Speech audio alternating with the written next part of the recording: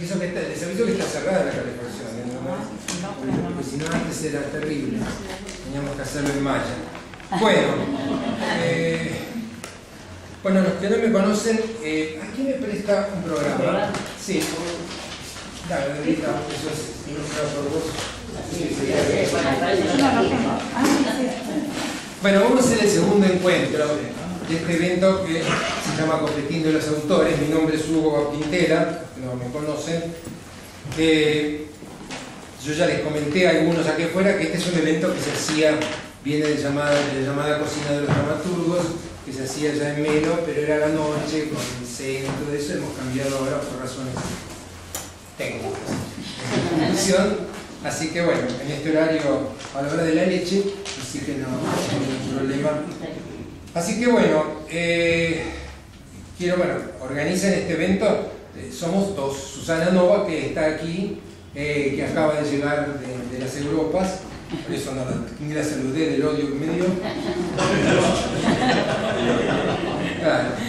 Y los autores que tenemos esta tarde es Gabriela Romeo, Silvia Acevedo, Guzmán Céspedes y Plácido Donato. Pueden aplaudirlos.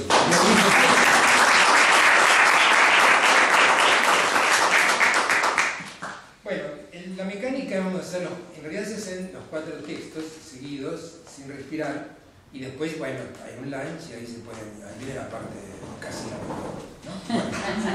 perdón por los autores. El, primer, texto que vamos a hacer es el de eh, Gabriela Romeo, que es un diálogo que se llama Locro al Namaste.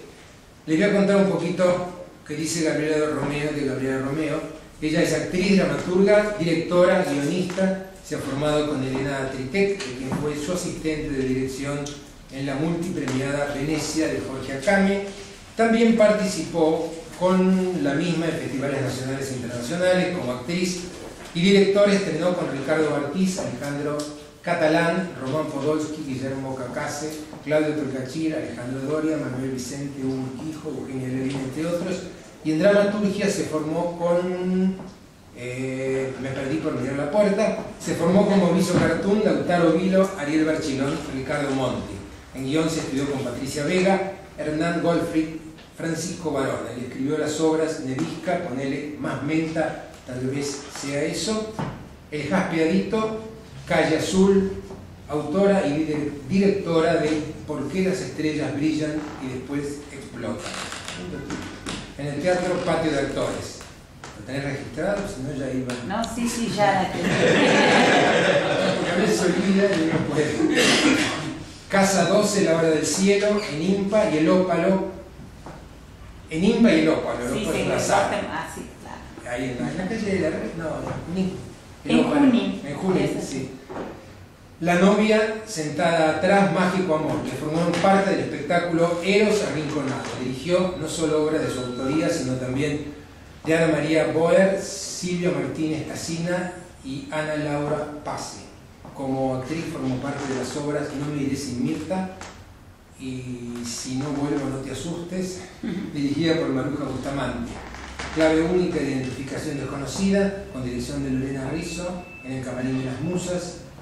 Un día muy especial de Griselda Gambara del Teatro Regio, con dirección de Ana María Campoy. El enorme plan, dirigida por Raúl Shalom en la ciudad popular Fue productora ejecutiva de las 20 y 25, Los Mucamos de Evita, de Patricia Suárez, bajo la dirección de Elena Tritec. Club Casino en el Teatro Metropolitano con la Metropolitan dirección general de Rodolfo Carnevale y la dirección de actores de Javier Rama y fue asistente de dirección de la señora Elena Tritec, no solo en las obras Venecia, sino en Tus manos en las mías, sobre textos de Chekhov, en Andamio 90, con Hugo Quijo, Graciela Dufo, Viaje de un largo día hacia la noche de O'Neill con Norma Leandro Flor de Corona en el Teatro Maipo con dirección de Miguel Cavia. El Juego de la Silla con dirección de Ana Katz, coproducción con el Teatro General San Martín y trabajó en radio como conductor y productora de la Sanación Iniciática, Radio Dakota FM 104.7, profesora de castellano y literatura, se desempeñó como docente en varias escuelas provinciales, nacionales y municipales todo eso.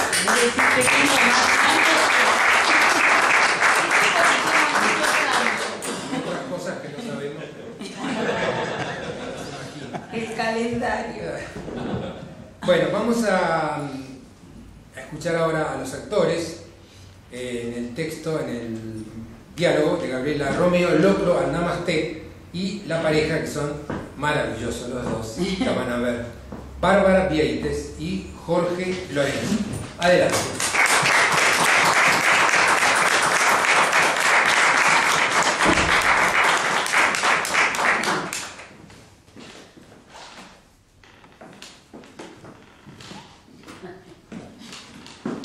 Dale con el partido. ¿Me podrías ayudar? Ya llegan. 45 chicos más la maestra de lengua y el profesor de gimnasia. Ramón, ¿me escuchás? ¡Pasala, comillón! Se tapó la pileta con grasa. Comida de baja vibra. Inspiro, exhalo, inspiro, exhalo. Vivimos en capital. Los chanchos en el patio no van. La azucena se marchitó, la zazarea llena de moscas y la margarita. ¡Pum! ¡Oh! ¡Oh! ¡Pasala, comillón! ¡Qué chorizo sos! No quiero la máquina de hacer chorizo. ¿Por qué no ensalada y yoga? eh? Y no golpees la mesa que me tirás en saumerio. ¡Cuánta densidad! ¡Cuánta densidad! Sí. ¿Con los ruleros? ¿Y qué? Con los ruleros puestos, quiero alcanzar la conciencia búdica. Buda usaba caracoles para que no se le quemara el cráneo. Yo ruleros. Namaste. Destapame la cañería, Ramón. ¡Muertos! ¡Un locro necesitan! Sí, el locro que sobra para el club. Hoy locro. Ya sé que es 23 de noviembre. Pero si la maestra dijo que es 25 de mayo, es 25 de mayo. ¿Quiere que le ponga un cero al nene? ¡Ey! ¿Me repita de grado? No, tiene Mercurio delante del sol. ¿Eh? ¡Le cuesta estudiar! ¡Le cuesta estudiar! Uno, dos, tres, cuatro. ¡Gol! ¡Pero la puta madre me hiciste asustar! Bendigo, bendigo, bendigo. No pierdo mi centro. ¡No alcanza las cucharas! Que las chupen y se las pasen. Aguante la varicela que todo es energía. El tablón para la mesa. Penal. ¡Qué penal! Armame los caballetes y deja el volumen que es anti-feng shui. Dejaste dos figacitas. El péndulo. ¿El péndulo? ¿Dónde está el péndulo? ¿Qué usar de plomada? ¿Lo usaste de plomada? Vos en otra vida fue tu cuchuflito. ¿De dónde sacaste eso? La tarotista me lo dijo. Y no te metas con ella, ¿eh? Que está en la cooperadora luz violeta y a otra cosa. Anudate la camiseta, que se te vea el ombligo. Anda, pasate carbón. Para un cacho, no me rompa la bola. No me digas que se quebró una pata. Pará con la camisa, que me clavó las uñas. No rezongué, la señorita quiere que los padres colaboren. Yo hice el logro, vos vendedor de velas. Viene el segundo tiempo. No me importa que empiece el segundo tiempo. Referí vendido a la puta que te parió. Dale, las velas, las velas en la canasta. Va. Arremangate el pantalón. Mirá, mirá con el tercer ojo. Carbón en la cara y en las piernas. El carbón con las patas peludas. ¡Y afeitártelas! ¿Sabés que la maestra es nerviosa? Tiene tres turnos, cuatro hijos y el marido con pánico. Un manimpeneo, un manimpeneo, un manimpeneo. ¡Basta! ¡Terminó el partido! ¡Va! ¡No! Sí, para mí, sí. Eh, ¿Por un poquito? En la cabeza. Ponete la canasta. Cuidado que no son chorizos. Y dale vos, y dale vos, y dale vos. Ramón, se fermentó el locro. Inspiro tres veces. Exhalo en tres. Inspiro tres veces. Exhalo en tres. Namaste. Llama al doctor de loca. Al lado del mandala está el número.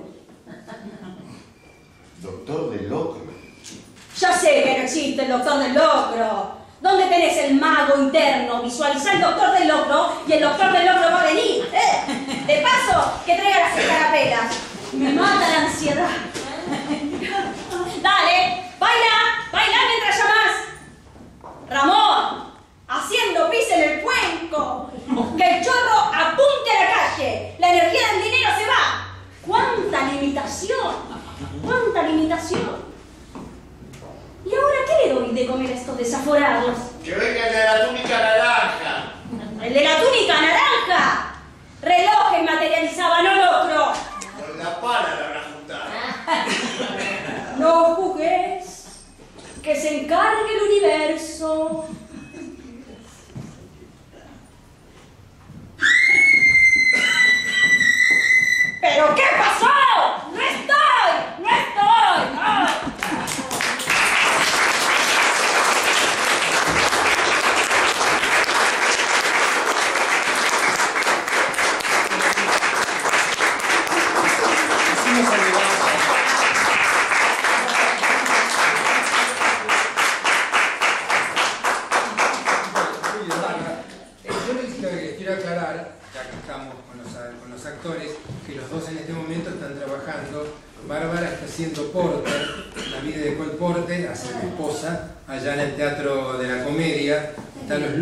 las 20-30. 2030 es una obra de Carlos Vitorella que es fantástica la obra, ¿eh? les aviso.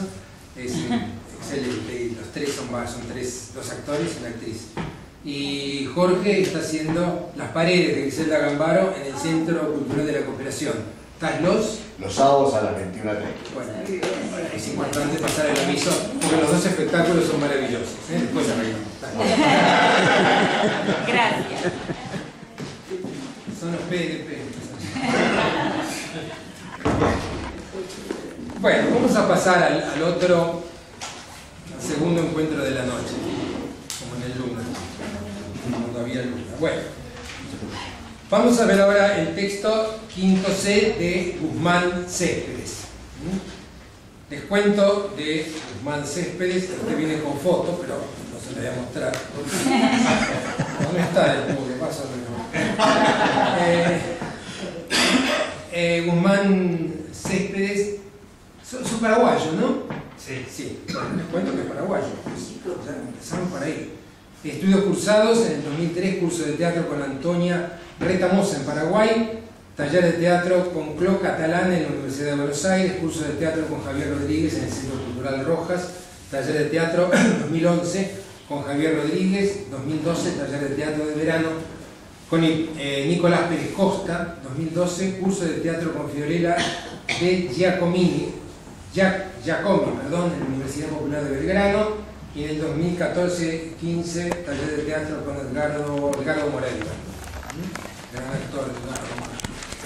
Sportivo, eh, uh, hacer lío. Sportivo Unión y Gloria de Fontana Rosa, participación especial bajo la dirección de Titi Lovera, La Luna, Boda de Sangre y Bernarda Alba de Federico García Lorca, muestra de alumnos bajo la dirección de Edgardo Moreira, experiencia autoral, Añamembuí, eh, dirección La hija del demonio, Milagros, Quinto C y Torre Blanca. Bueno, ahora vamos a escuchar, este es un monólogo que lo interpreta Bárbara Vieites, que no sé si está la lista, si no puedo seguir contándoles la vida. Es- las cosas que yo sé de él. Me han contado, yo conozco, sí. Bueno, acá está Bárbara. Muy bien, adelante.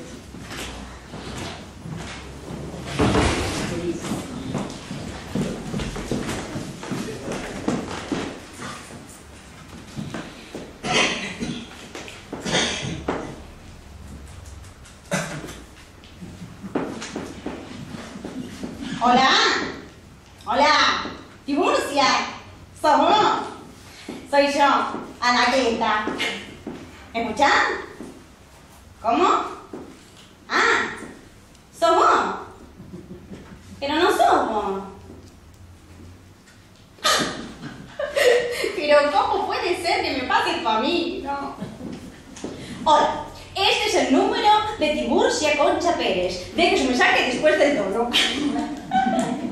No sabía que tenía un segundo nombre. Estos gallegos tienen cada nombre. Seguro debe estar con el viejo amargado ese. ¡Qué marido se agarró la infeliz! Y bueno, pobre. Ella tampoco podía pedir mucho. Gracias que pudo casarse la cogotuda. Más fea no podía ser. Y con ese nombre.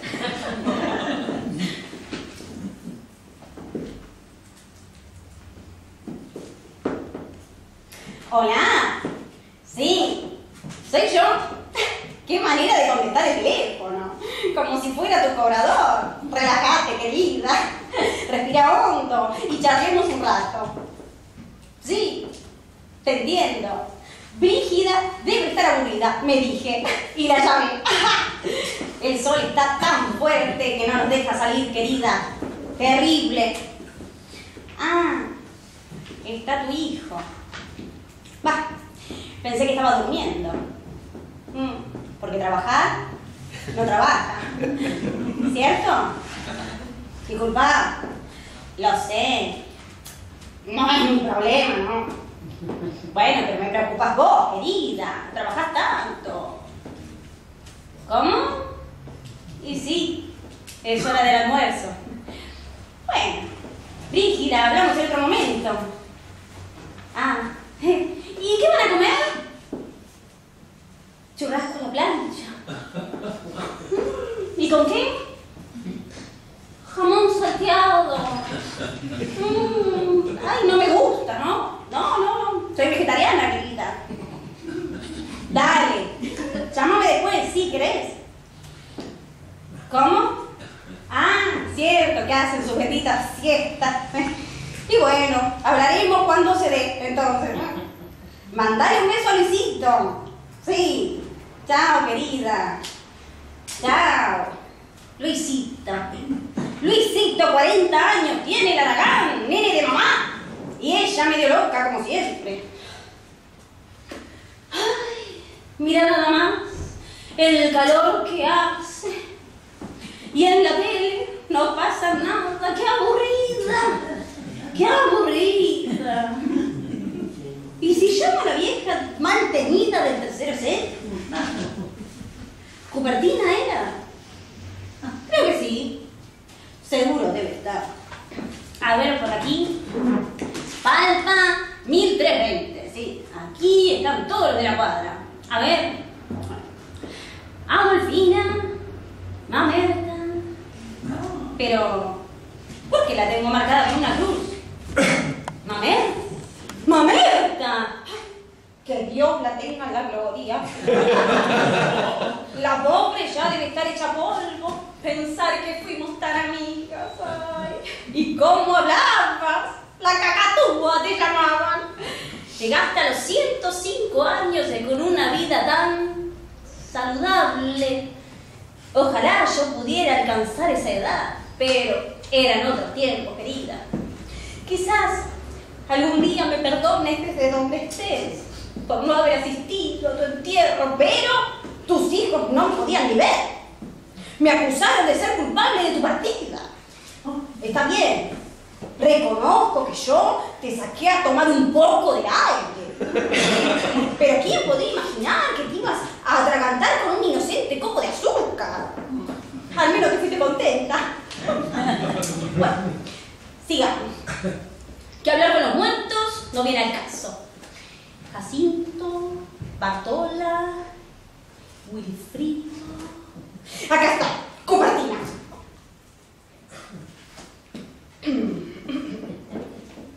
¿Hola? Sí, soy yo. Anaqueta. Sí.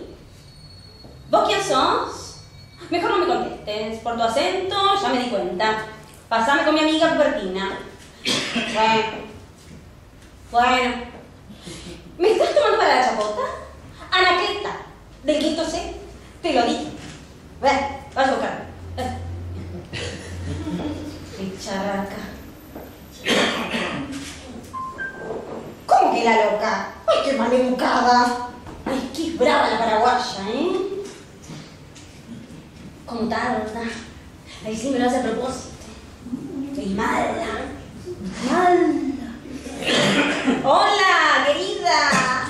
¿Cómo estás? ¿Yo? Espléndida amiga. Hace tanto que no nos cruzamos. Me dije, ¿estará bien Cupertina? Sí, es verdad. Es intensa tu empleada, ¿eh? Me dijo de todo. No hay que darle tanta libertad. Se te revelan. Yo por eso no tengo. No porque no tenga con qué pagarles, no. Soy muy meticulosa con mis cosas y las chicas no cuidan las cosas que no van a poder comprar. ¿Vos me entendés? Por cierto, ¿cuánto le estás pagando a la paraguaya? Pero querida, ¡tanto! Pero si es una extranjera. ¿Cómo que tiene que ver? Que yo discrimino. Pero, no querida. Ay, me dijiste mal seguro. Eh, Pero, pero, no, no era para eso mi llamado. Papá, no inútil. Te llamaba para, para comentarte unas cositas. Bueno, no sé ni cómo empezar. No quiero parecer chismosa, pero te quería poner sobre aviso. Vos sabés que últimamente este edificio se llenó de gente rara. Y me contaron que andan diciendo barbaridades. Y de vos. Sí, de vos y de tu hija. Y que anda fumando unos yuyos. Y cedrón no creo que sea. Y de tu hijo. Ay, ni te cuento. Cosas que por supuesto yo no creo. Pero viste cómo es la gente de ahora. Ah, es terrible. Se, se alimentan del chisme. Que no es nuestro caso, querida. A mí el que me cuenta es el encargado. Y sí. Todo el día en el edificio. Se entera de todo. Sí, así mismo. Para eso es rápido, pero para agarrar el trapo le cuesta. Y viste que ahora pedí un aumento. La verdad, no sé dónde vamos a parar. Ah, No te conté. Van como cuatro días que no duermo bien a la noche. Sí. Ay, querida. No sé si contarte. A mí no me gusta andar ventilando las intimidades ajenas. Pero la gente no tiene vergüenza. Bueno, ¿viste la chica que vive sola en el sexto C? Que queda justo arriba de mi departamento. Sí, ella, la morochita. ¿Viste qué flaquita que está ahora? Bueno, esa misma se ve que tiene un amante y viene a altas horas de la noche y hace su porquería. Sí, si lo hicieran en silencio yo no te estaría contando. Él no tanto, ¿eh? pero ella grita. ¡Grita! ¿Cómo grita? Parece un carancho. El ruido de la cama me sacude todos los caireles de la araña. Imagínate. Imagínate. Justo arriba de mi cabeza. Sí, sí. Para esta noche ya tengo preparado un palo de escoba, me queda otra que repiquetear el techo. ¿Eh? Es tan inmoral todo. Tanto. Que puedes creer que tenemos una pareja de hombres. ¿Cómo? Porque el otro día ¿ah? subí en el ascensor con ellos y en un momento uno le dijo al otro, pimpollo. ¡Pimpollo! ¿Te das cuenta? El finado me decía pimpollo. Ah, hablando de Roma, los reyes se asoman. ¿no? ¿Sí? Ahí se asoman al balcón. Sí, me quedan enfrente. Se mudaron hace poco. Yo ya sospechaba lo raro. Y una alfatea. Ah, capaz que los conocés. Son jovencitos. Al menos uno. El encargado me contó ayer, a plena luz del día, estaban los besucones en la puerta del edificio. ¿Podés creer? Y sí, él me dijo, el mundo está perdido. Ahí están. Muy liberados ellos. En baños menores, tomando sol. Sí, querida. Y uno es medio retacón, el otro flaco y alto. Sí. Los estoy mirando. Y ponen una música rara, de esas de, de ahora. Se me sacuden todos los malbones con el punchi punchi. El más pelizón tiene los pelos colorados.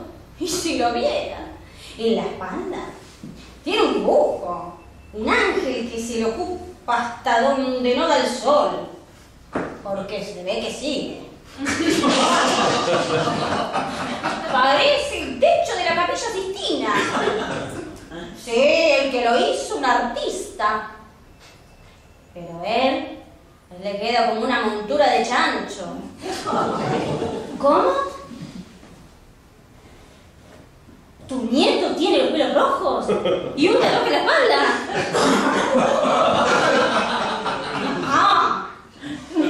No, no creo. Y tendría que ser demasiada casualidad. Y viene con un amigo, decís. Pero viste que parece que esto se quiere mucho, ¿eh? Bueno, perdón. Hubiésemos empezado por ahí. ¿Hola? ¿Hola? ¡Hola! Bueno, al final me parece que me voy a hacer una siesta porque una intenta mantener informada a la gente que aprecia y no sabe valorar el espíritu solidario.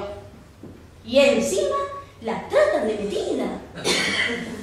Qué mal que está la sociedad. ¿Y cómo voy a dormir con estos degenerados enfrente? Con la música todo lo que da, ¿eh? ¿Eh? ¡Ay! Pero como mueven la pelvis.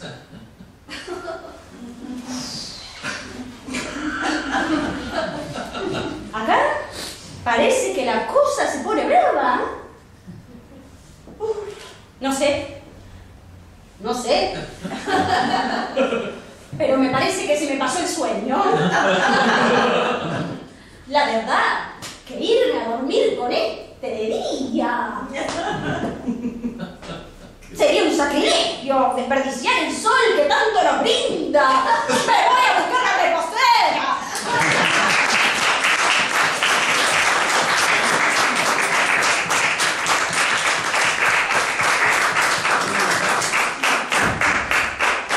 Bueno, bueno.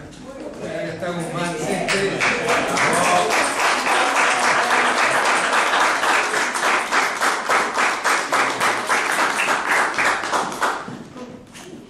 Bueno, qué chuma. Bueno. Parecía China Zorrilla, ¿no? Parecía Zorrilla. Bueno, vamos al tercero. Este es un monólogo de mi querido amigo Plácido Donato. Bueno, Memorias de un perejil se llama. Les cuento de Plácido. Plácido es conocido en el mundo literario y doctoral como Plácido Donato o el comisario Donato. Nació en Quilmes. No vamos a decir la edad, ¿para qué? Eh, eh, bueno, espera, me perdí diciendo pavadas. Eh, fue guionista de historietas de dibujante Torino en 1947 y 1964. El conventillo de Don Nicola, Barra Brava, La Barra de Pascualín, etc. Guionista. Novelas rosas para la revista Ti, cuentos policiales para Radiolandia 2000. Guiones para radioteatros, cine y televisión, algunos de cuyos títulos trascendieron como División Homicidio, Esta puede ser su historia, Buenos Aires, mi ciudad, primer musical en colores de tango con Virginia Luque, Jaque a la policía, Vivir es maravilloso, Libertad condicionada, ¿Quién es el asesino? Las esclavas, Contragolpe, El cuadro, Muerte en el circo, El enigma del cementerio olvidado, Yo creí que, finalista Premio Onda España en 1978, estrenada El plan de los barrios del Teatro San Martín 1976. El naipe en la manga, escrito con Marco de Nevi y María Angélica Bosco, Dos fantasmas en los leños, primer premio de Teatro Independiente 2011. Sabia seca, etc. Sabia, no sabía, sabia. Eh, cuentos como El saxo y Pasaje a Picasso fueron adaptados para ballet en la compañía de Mariela Murazut. Escribió guiones para Joan François Casanova, Walter Suárez, Grupo Caviar. dictó talleres sobre guiones en suspenso en Argentores, actualmente es presidente de la Junta Fiscalizadora de Argentores y consultor histórico literario de la Policía Federal Argentina. Entre sus premios se destacan el San Gabriel y eh, Cruz de Plata Q por División de Homicidios, Premio Recero a la Cultura Ciudad de Buenos Aires, entregado por el presidente Raúl Alfonsín, Premio de Honor Cervantes, Asociación Española de Quilmes, Premio Olmedo al mejor autor contemporáneo de televisión de la década de 1970, Ciudadano Ilustre de San Telmo, Premios Argentores 1976, Jaque a la Policía y 1986, Libertad Condicionada, galardón de Radio Susí por su trayectoria en el radio teatro de suspenso. O sea, algún currículum tiene.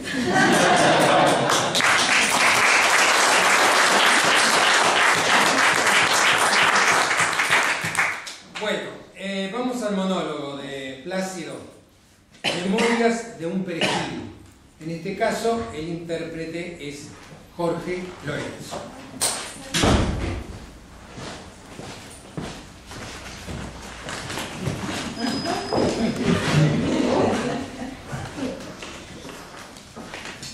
Gracias, pibe. Dale, quédate un rato, ya que no tenés parroquiano.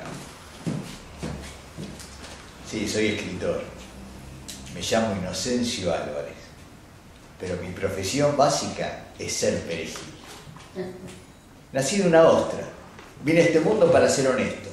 Una cosa totalmente despreciable. Desde el cambalache de Iseporín hasta la corrupción mediática de los próceres más encumbrados de nuestro entorno de nuestra política, de nuestro folclore, de nuestra propia familia. En mi primer empleo, a los ocho años, el apodo me lo puso mi tío el Angelito, el verdulero que de perejiles se las sabía todas, dándome un bife cuando corría a devolverle un monedero a una viejita que había olvidado en el mostrador con cuatro centavos. ¡Avivate, perejil! me dijo.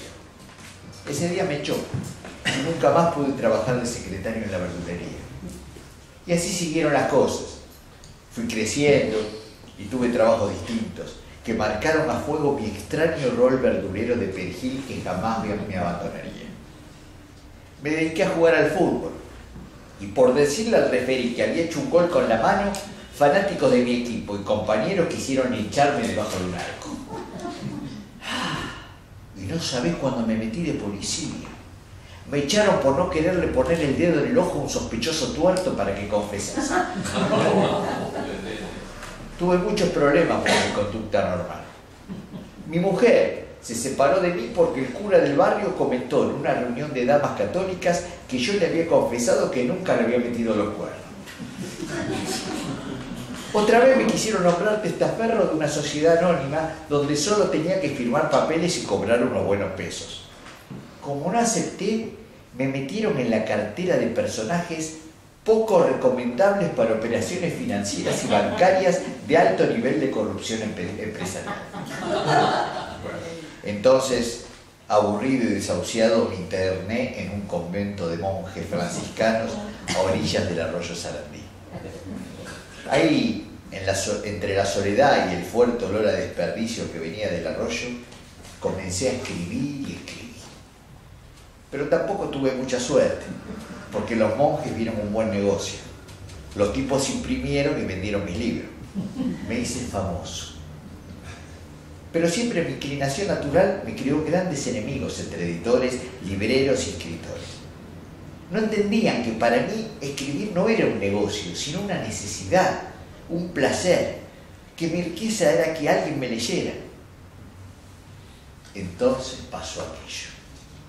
Una tarde se juntaron en el boliche Juan, el viejo Ardiles y la Mafalda Antunes, que escabiaba el doble que Ardiles, que era mucho. Y esa noche de tormenta se les ocurrió la gran idea. Bueno, en realidad se le ocurrió a Mafalda mientras se empinaba la quinta caña de la noche. Necesitaba joder gente y que otra gente la ayudara en la empresa. El carácter de la Mafalda siempre estaba predispuesto a eso. Ella, con voz etílica, fue clara y precisa.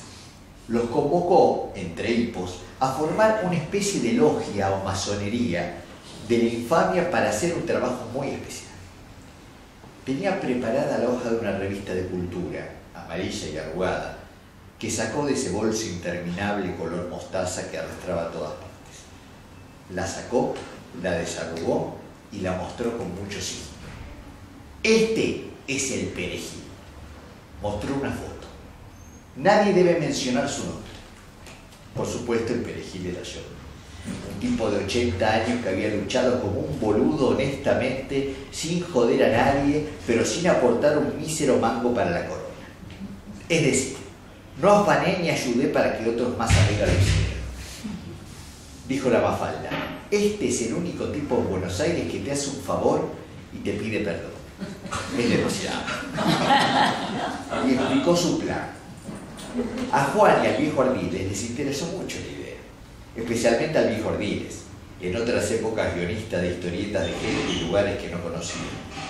Le tenía idea fija de la foto, o sea yo. Él había empujado a escribir y cuando creció un poco se le fue de las manos y solía sentenciar, cría cuervos. Los ojos de Ardiles, nublados de odio, ya gozaban la, venganza. Y Juan era un tipo que odiaba agradecer, mediocre, engreído y usurpador de sillones vacíos o llenos que le ayudaba a vaciar. Era psicólogo y frustrado y frustrado escritor, envidioso y siempre lleno de poder que ejercía en las sombras. Todo favor que no le pagaran era una verdadera ofensa y jamás lo perdonaba.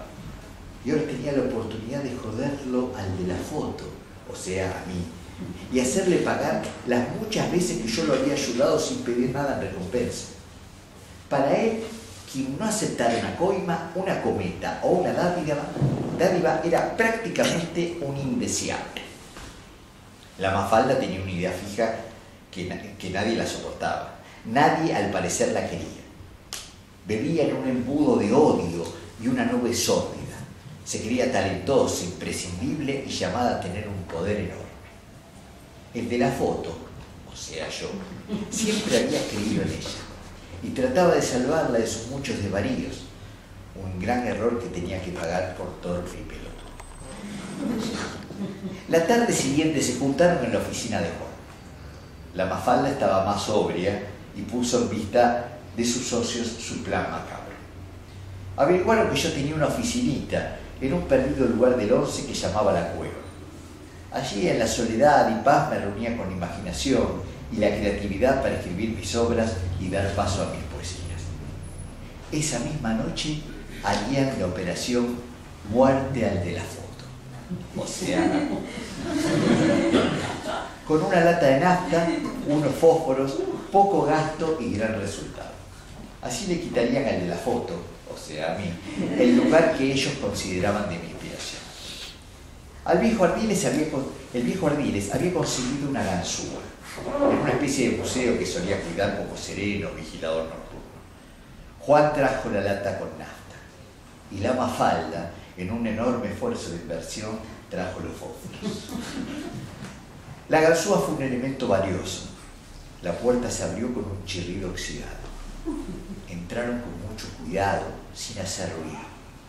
Cerraron de un golpe fuerte pero silencioso la puerta. Eran las dos de la mañana.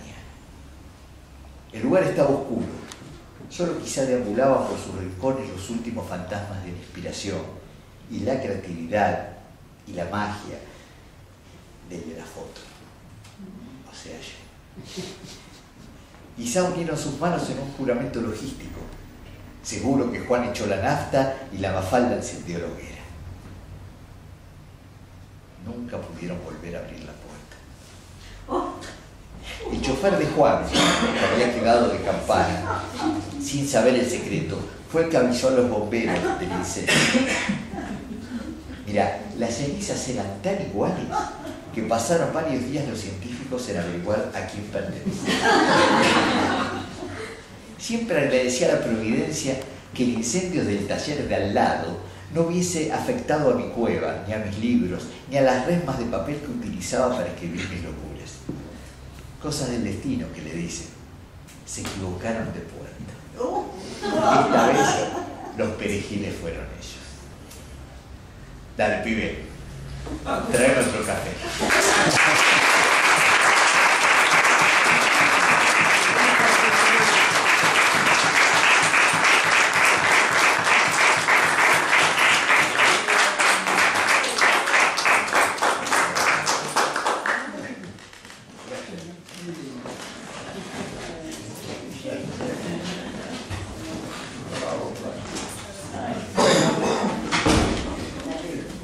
Ahora vamos a seguir, o sea yo. Eh, Con el último. ¿Silvia Acevedo vino? Ah, acá estás. Ah, hola. Bueno, no, pues no te hemos visto, no he llegado. Sí, sí. Tienes media, media falta, ¿dónde problema? Bueno, este es el último texto de la noche, o de la tardecita. ¿Qué hora es? Ah, bueno, todavía está la tardecita.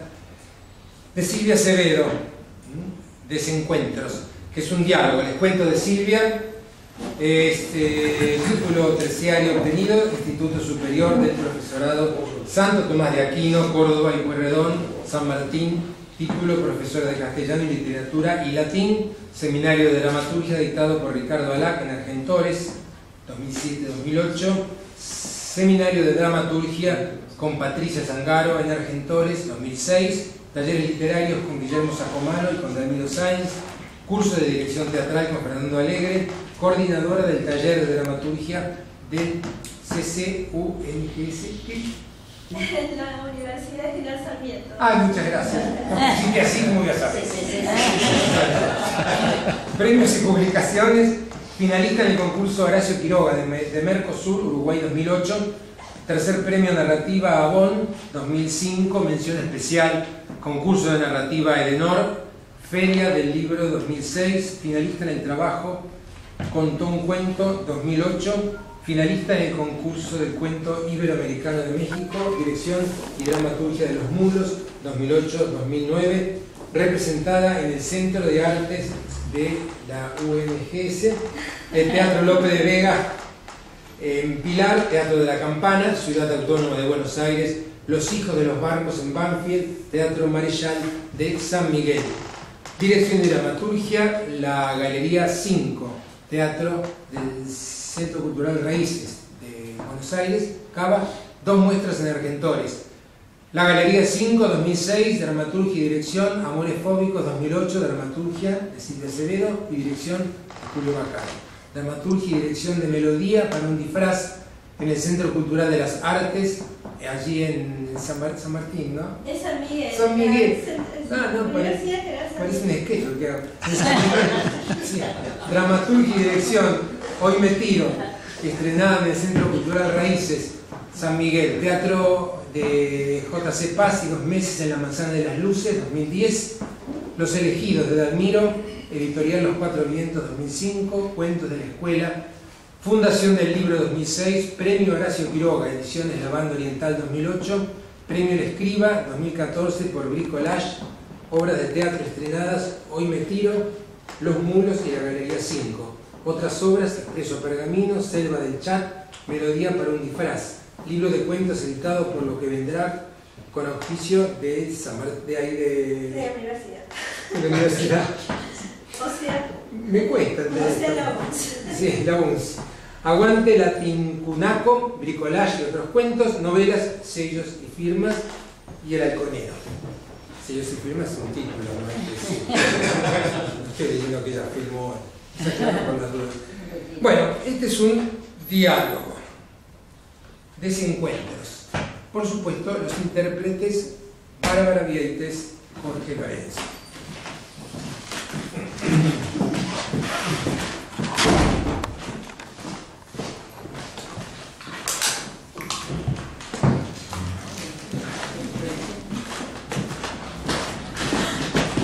Perdón, no, no lo vi. No, no me toque, por favor, deje eso. Ay, mi vestido. Mire, le juro, le compraría otro. A- acá tengo la tarjeta. Ahí enfrente hay una tienda de las más caras. Por favor, acépteme. ¿Qué dice? No voy a aceptar dinero de su parte, por favor. Pero mire lo que me ha hecho. Por favor, no llore. Qué torpe, realmente. ¿Qué hace? ¿El banco suyo? Es que tengo una cita. Ah, casualmente yo también. Tengo una cita acá. ¿No me va a decir? No, ni parecida a la de fotos. Mucho más linda. No, usted no es.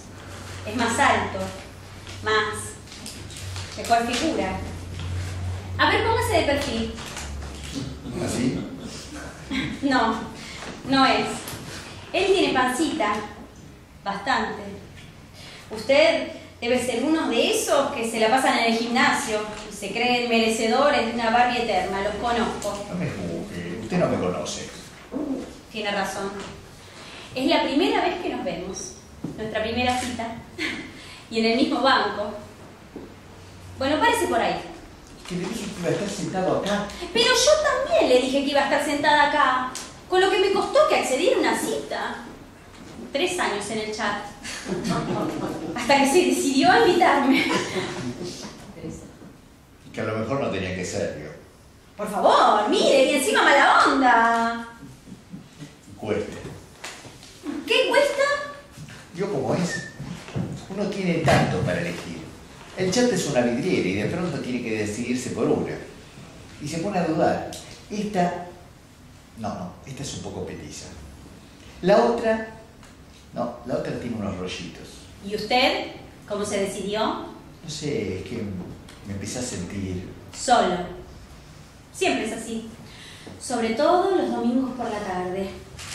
¿Cómo se congestiona la línea los domingos por la tarde? Solo, necesitado de una mujer. Sexo. Ya lo sabía. ¿Quieren sexo? Todos quieren sexo. Fue así, un accidente.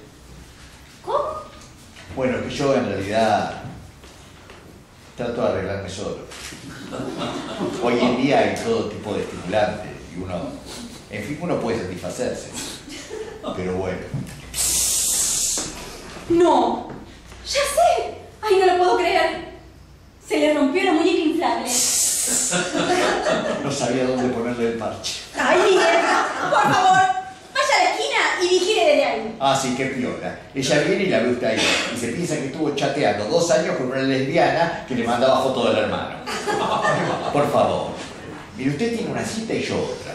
No nos arruinemos el pastel, ¿sí? Mire quién habla de arruinar el pastel. Uno conoce tanta gente, tanta, pero tanta. Tiene tantos amigos que le dejan guiños y buena onda y que lo tratan bien. No todos tienen buena onda. Hay cada uno.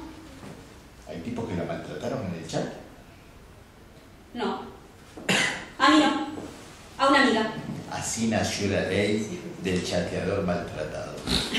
Soy una de las mentoras de esa ley. Se habré ido a las marchas. Entonces usted, En defensa de mi amiga fui. No sé si me entiende. Mi amiga. perdón, ¿y cómo la maltrataron a su amiga?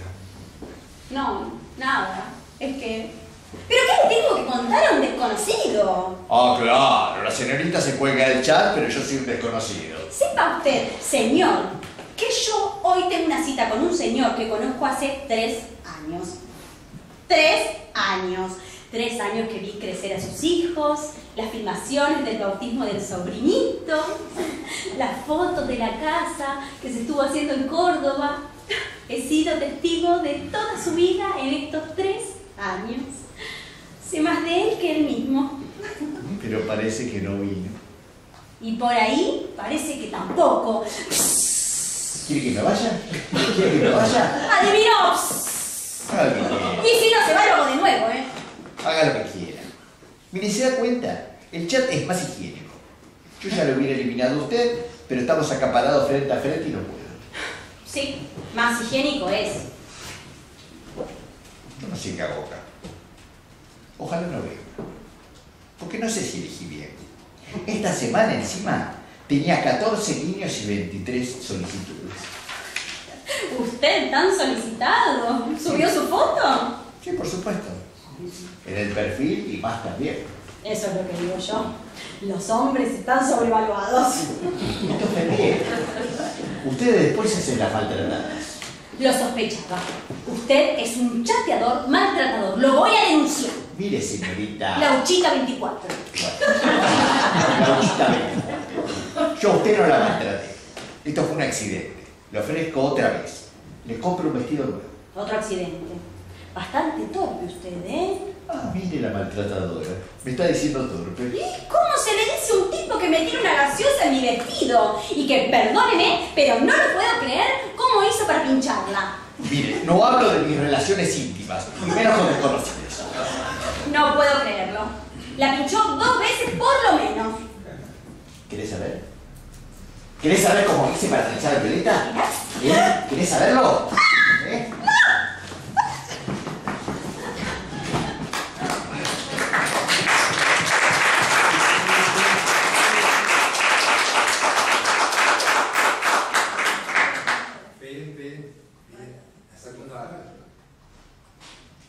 Acá tenía que haber música de terror.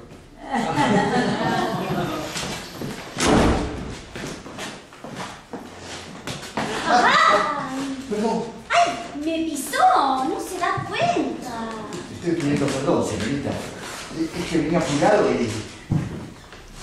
Encima que llevo tarde. El tren. ¿Y usted? Todos los días se tira alguno del tren. Yo también llegué tarde. ¿Usted también llega tarde a una cita? Igual, la verdad, era una relación desgastada. Muchos años juntos. Sí, digamos juntos no, conectados. Ah, sí, como nosotros. Y sí, las relaciones se desgastan con el tiempo, ¿vio? Sí. Dejamos pasar mucho el tiempo. Es que hay tanta gente, ¿vio? Tanta gente en la línea que...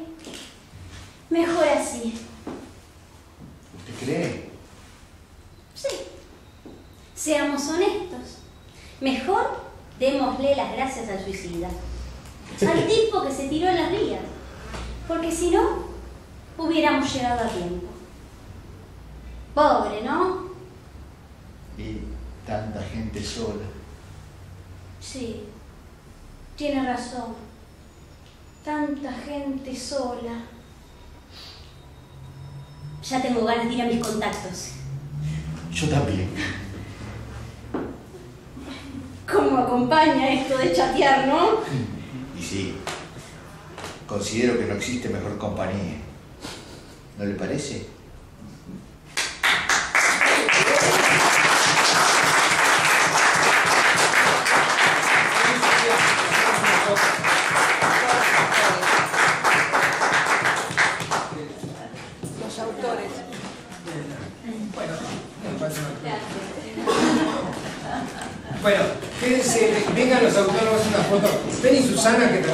Y sí, cosas del equipo también. Póngase así, porque yo así me quedo acá, ¿no? Así. Vení, vení.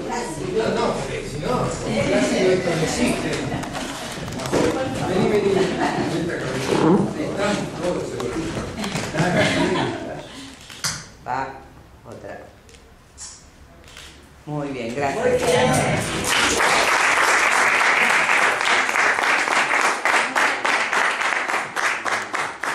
Yo les quería aclarar que estos textos van a ser editados a posterioridad.